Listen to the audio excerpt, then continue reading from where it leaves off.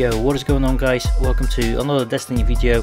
Today I'm gonna talk about where is uh, and what is he selling on January 15th. So there we go guys, he is actually located today in the reef and let's have a look what he got for us and if it's worth buying. So first we have a Ruin Wings, are exotic gauntlets for a Titan and you can buy those for 13 strange coins. Now, if you're a Titan who likes to shuffle between the classes and like using heavy weapons a lot, then this piece of gear is definitely for you. But if you're a PvP player, there's no point to using them, so just don't.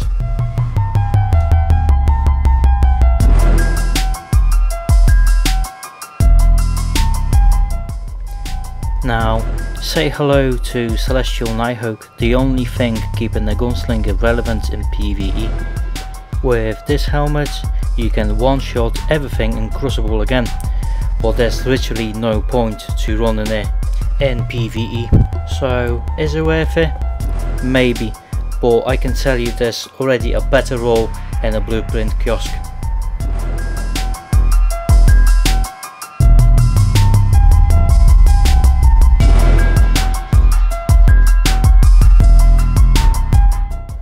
And now we have the impossible machines.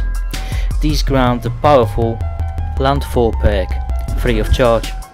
These freeze up Ionic Blink or superconductor both excellent perks for pvp and pve landfall deals tremendous damage. Stuns and disorients any targets who somehow survived. Pair it with superconductor or Transcendence for the ultimate PvE at clearance. So, is it worth buying? Definitely yes, but on all those exotic I would you suggest to use Twist of Fate as there, can't be a better roll for them.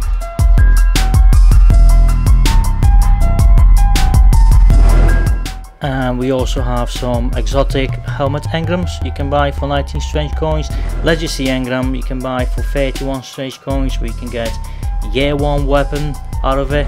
You also got some plasma drive upgrade stealth drive upgrade heavy ammo sim for one strange coin.